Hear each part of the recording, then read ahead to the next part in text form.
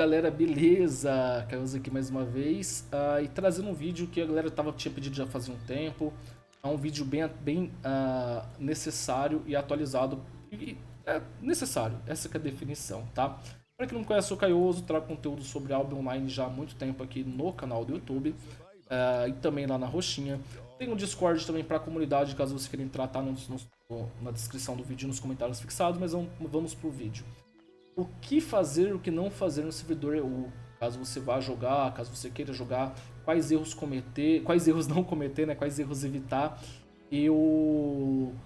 e explicar para vocês o, o, porquê de cada decisão, de cada ação ser tomada, tá bom? Ah, Caioso, por que, que, a galera tá tão animada? Antes disso, vamos falar, cara, vale a pena jogar o servidor EU? Por que, que vale a pena? Por que, que não vale? Lembrando, você jogar o beta, você ganha skin, tá? O beta vai estar aberto por mais alguns dias aí, então entra no beta, já está gratuito para todos. Você cumprir alguns requisitos do desafio do Conquistador ali, você vai ganhar algumas skins uh, ah, para poder... Você vai ganhar algumas skins para poder estar... Tá, é... Usando até no, no servidor NA. Então vale a pena você ir até mesmo para jogar o servidor normal, o servidor que você já joga, tá bom? É... Vamos pro vídeo, né? Vamos lá. Pessoal, quais são os principais erros que a galera comete, uh, geralmente servidor novo? E por que jogar um servidor novo? Se você é novo nos meios de MMORPG, cara, você, deve, você não deve saber qual que é... Nossa, eu tô até perdido aqui na hora de fazer o tutorial. Se você é novo, se o Albion Online é o primeiro jogo que você joga, cara, você não faz ideia do hype que é um servidor novo de MMORPG. É sempre o hype, todo mundo joga. Não que a galera vai jogar para sempre, não que a galera vai ficar lá, mas a galera vai jogar pelo conteúdo, cara, em si. Todo mundo upando do zero, todo mundo desenvolvendo ah, as mesmas coisas, lutando, tá ligado? Passando aquele sufoco inicial, sabe? É, é algo assim que é muito gratificante, muito emocionante nos RPGs em si, tá bom? Então, é, é por isso que eu eu recomendo você jogar. Ah, Carlos, mas eu não quero jogar lá é, para sempre. Não quero jogar lá, focar no servidor EU. Você não precisa focar no servidor EU. Você não precisa. A coisa que você precisa é, é se divertir, tá ligado? Eu mesmo vou jogar, eu pretendo jogar durante apenas um mês no servidor EU. Vou jogar um mês ali, depois eu voltar. E o que, que eu devo fazer para não começar atrasado ou para não me atrasar? Ah, Carlos, eu não consigo pagar, vou começar três dias depois, eu posso ser prejudicado por isso? Não, não pode e não vai. Por quê? Porque, velho, você começou a jogar o Albion 5, 6 anos, 7 anos depois do, do, do, servidor já existir. Porque você acha que agora que você começar com 5 dias de, de, de, atraso, vai te impactar. Não vai, entende? Ah, quais são os maiores erros cometidos? Vamos lá agora. A galera quer em servidor novo fazer tudo. Isso não vai ser possível, tá? Uma coisa que eu recomendo para vocês uh, no servidor novo é jogar em grupo, tá? Jogar em grupo e dividir funções, dividir tarefas entre esse grupo, tá? Por quê? Uh, num servidor novo, você não vai ter pontos de aprendizado para upar. Tipo, você vai ter igual no global pontos de aprendizado para tipo gastar dezenas de recursos, para gastar em upar coleta, em upar set, upar equipamento, upar craft, você não vai ter. Ou seja, você vai ficar atrasado. E se você quiser fazer tudo, quando você chegar em alguma coisa T8, ou em várias coisas T8, já vai ter, vai ter muito recurso T8, já vai ter muita gente que vai ter feito isso uh, há muito tempo antes de você, porque o cara ficou numa coisa só. O cara focou só em coletar madeira, ele vai ser o primeiro a chegar na madeira T8. O cara focou só em craftar bilaminado, ele vai ser o primeiro a craftar bilaminado T8. O cara focou só no PVP, ele vai ser o top PVP. E a vantagem do servidor novo é que todo mundo começa igual, basicamente. Todo mundo começa ali do zero. Então, você focar em algo é muito vantajoso, é muito lucrativo. E se você não focar em nada, se você focar em fazer tudo, você vai ficar para trás. Então, a principal dica que eu dou para vocês, é, mas como que eu vou conseguir ter tudo se eu não for, fizer tudo? Porque é, é, difícil conseguir as coisas, as coisas são caras no começo. Eu não vou ter tanto tempo para para ficar fazendo prata, ficar fazendo PVE, ficar isso e aquilo. O que, que eu posso fazer? Melhor dica que eu dou para vocês é jogar em grupo, tá? E para isso já convido vocês, que vai estar também no, na descrição, nos comentários fixados, a vir jogar comigo na Starks, tá? Eu vou estar jogando na Starks durante esses 30 dias no servidor EU. A gente tem uns projetos bem legais para a guilda para ajudar no desenvolvimento do, dos jogadores, né, no desenvolvimento da guilda como um todo. Uh, auxílios com craft, Uh, organização, né? Jogar com uma guilda e uma guilda organizada. Esse, isso que é o principal de tudo. Então, caso você queira jogar com a gente, faça o seu, recrutamento lá e venha jogar que vai valer muito a pena, tá? Uh, então, por isso que eu falo, jogar em grupo. Por quê? grupo tudo é mais rápido. Vamos supor que você tem... Ah, mas eu não quero jogar em guilda. Vou jogar eu e mais dois amigos. Cara, um foca em coletar uma coisa, outro foca em coletar outra, outro foca em craftar. Mano, vocês trocam no início recursos, vocês trocam uh, ferramentas, vocês trocam... É... Vocês trocam até experiência, tá? Por quê? Porque, como eu falei, não vai dar para você fazer tudo. Ou seja, você vai precisar da, da, de uma ajuda inicial. Então, jogar em grupo, jogar em guilda, jogar entre amigos é a melhor coisa que você pode fazer no servidor europeu, tá?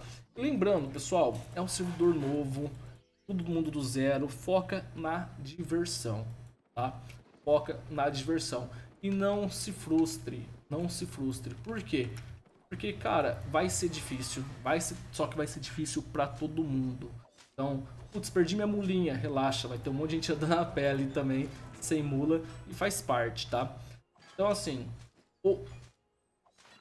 foquem na economia, foquem nos recursos, foquem no coletivo, foquem em se desenvolver e ficar bom em algo. Lembrando que você, se você focar só em coleta, não para uma arma, não para umas equipes, você vai ficar para trás em algum momento. Então faça um PVE também, entende? Up alguma coisa, junte os baús de desafio do conquistador para pegar tomos, é, para que você consiga uh, se desenvolver, progredir dentro do jogo. Então, assim, use com sabedoria, não faça as coisas sem pensar, analise, estude, vê se realmente vale a pena, vê o porquê vale a pena, tá? Troque ideia com mais pessoas, troque ideia com streamers, pegue dúvida, assistam vídeos, assistam lives, isso vai te ajudar bastante, tá bom? Pera aí que eu tô bugado aqui fazendo o tutorial. Eu vou dar a dica mais importante sobre servidores novos. Economia. A economia de um servidor novo, ela é muito rápida. Tipo assim, é muito... É, é algo assim que você não consegue acompanhar por si só. Por exemplo, um M no primeiro dia vai valer uma fortuna. Tá? Vai valer uma fortuna. Se você pegar e ficar todos os dias, quando você termina de fazer conteúdo, você comprar ouro com esse conteúdo, no, no final, quando você, tipo, daqui uma semana, duas semanas depois do servidor aberto, ao você vender esse ouro, você vai ter 10 vezes, 20 vezes, 30 vezes mais prata. Por quê? Porque o ouro ele vai se valorizar de uma maneira exponencial. Só que lembrando, se você não precisa, você não pode precisar desse ouro tão fácil depois, dessa prata tão fácil depois. Porque caso você nunca tinha, tenha caixado no game, você só pode vender 500 de ouro por dia. Então você tem que ter essa noção. Você pode comprar infinitos ouros. Mas vender, você só vai poder vender. Uh, você só vai poder vender 500 de ouro por dia. O que vai te atrasar uh, bastante caso você precise dessa prata na frente.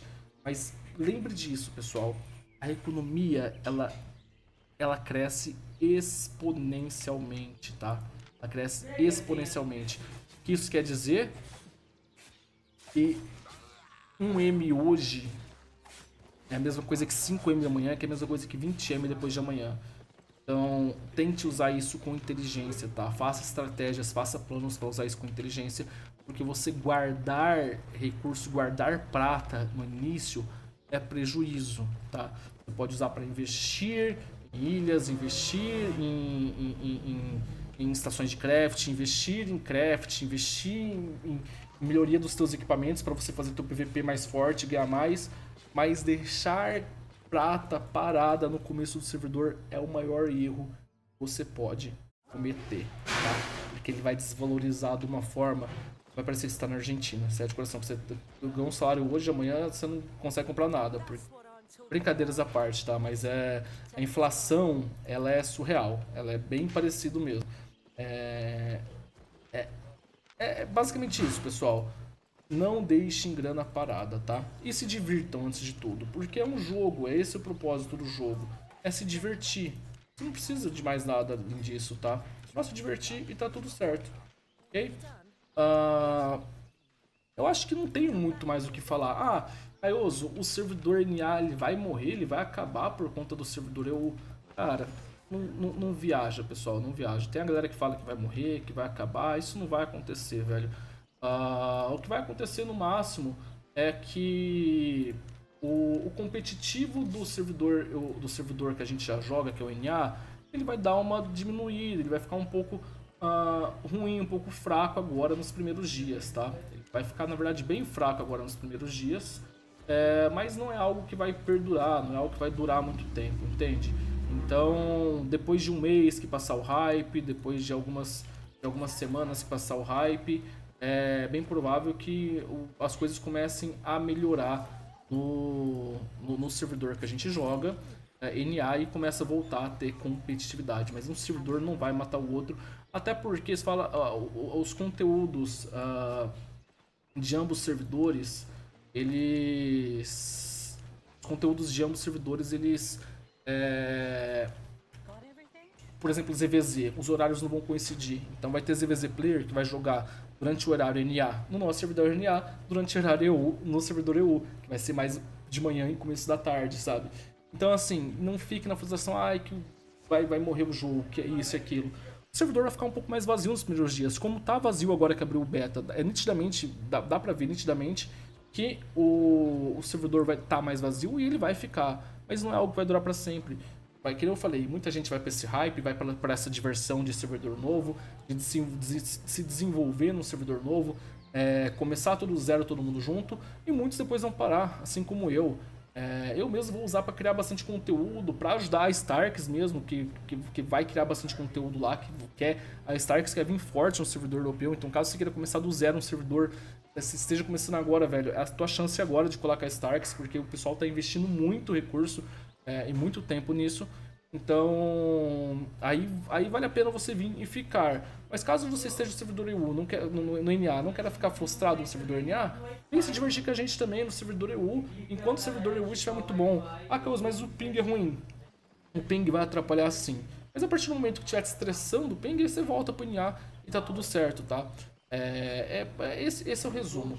Então, pessoal, Espequem as coisas com sabedoria, espequem as coisas com calma, não faça tudo, foque em algo, aprenda, use para aprender e depois você aplicar no, no servidor NA do aprendizado. Foco, foco é o principal recurso desse jogo. Tanto que a gente, a gente usa foco para ter recursos, para ter retorno de recursos. Então você focar em algo é fundamental. Então no servidor NA, não faça tudo no, no, no EU. Não faça tudo. Foque em algo, se desenvolva naquilo, seja o melhor naquilo e desfrute das, dos melhores benefícios. Fechou? Então é isso, o vídeo é esse, é mais para falar, dar um resumo, não, muito específico. Se, se, eu falasse aqui, gente, uh, faça coleta de couro. Todo mundo ia fazer coleta de couro, coleta de couro ia ficar ruim. Se eu falasse colete pedra, porque pedra vai ser muito valorizado no começo por conta das estações, todo mundo ia coletar pedra, ia ter pedra para ser coletado. É, então, escolha algo, estude algo e faça com sabedoria e seja melhor naquilo. Essa é a tua melhor chance, tá? Sobre o ping, tem exit lag, tem no ping, tem vários proxies e VPN aí que vão te ajudar a resolver esse problema. Inclusive, a maioria dos streamers e youtubers de Albion são parceiros. Eu não sou parceiro de nenhum deles. A maioria são, então você pode estar conseguindo cupons de desconto lá na live do Miratorta, lá no, na live do, do Ale, do Ale no, no, no, na live do Sanct, do Tordek, do África. A maioria dos streamers tem parceria, tá? A maioria do, do, do Oculto, todos eles. A maioria tem parceria com algum. Então procure seu streamer, seu youtuber preferido uh, o Dois Santos mesmo, vai lá e fecha um contra... Ah, assina um pacote lá com desconto usando o link do, do teu streamer e você vai desfrutar do jogo com um ping bem menor do que esses 230 que está mostrando aqui. Fechou? Basicamente isso, pessoal, eu queria trazer para vocês. Não esqueça de deixar um like, comentar. Entre no, no, no Discord da Starks para já, já começar o pré-recrutamento do servidor EU. E vamos jogar junto e se divertir aí nesse servidor novo. Vai sair. É, esse é o foco, é diversão. Então vamos jogar junto e se divertir junto, fechou? Um forte abraço a todos, valeu, falou, fui.